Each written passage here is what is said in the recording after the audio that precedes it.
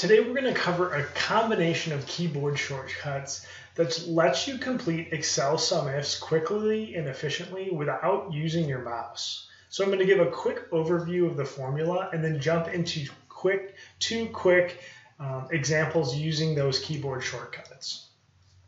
So we're going to be using data from the coffee wholesale business. And as you can see here, there's multiple rows with multiple product names and product categories. And it's very hard to make sense of this data just by looking at it.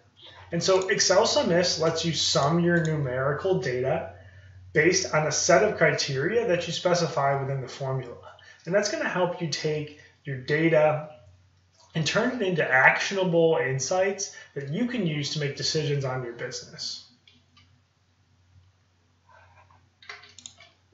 So to jump into the formula, we're going to type equal sign sum and Excel is going to populate a list of formulas that it thinks you want to use. I arrow key down and then press the tab key to auto-complete the one that I want to do, in this case SUMIFs. So all we're going to do is specify the sum range and then multiple criteria by which we want to sum that range.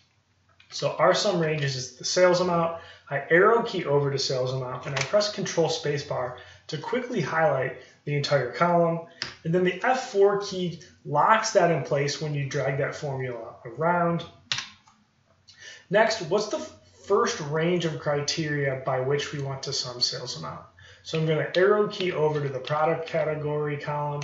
And again, control spacebar is going to highlight that entire column. Next, what accessory or what product category should we sum sales amount when, when we see it? That's criteria one. So I'm going to arrow key over to criteria one and specify that. And if you've learned anything yet, please make sure to subscribe to my YouTube video, my new YouTube channel, so you can stay up to date on all of my Excel videos. So we've got our first um, set of criteria, which is sum sales amount based on product category. And we're going to do that again with our second criteria. So comma, criteria range two is going to be month year. So arrow key over and control spacebar is going to highlight that entire column. And then comma, and then specify which month year should we be summing sales amount and arrow key over to November, close parentheses and press enter. So Excel quickly, Excel SUMIFs quickly sums um, all of the sales made in November 20, 20, uh, 2020 for the accessories product category.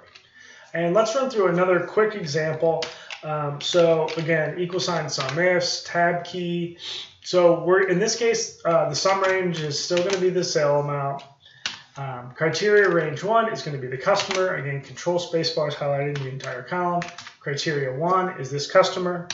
And then criteria range two is going to be product name. So arrow key over control spacebar.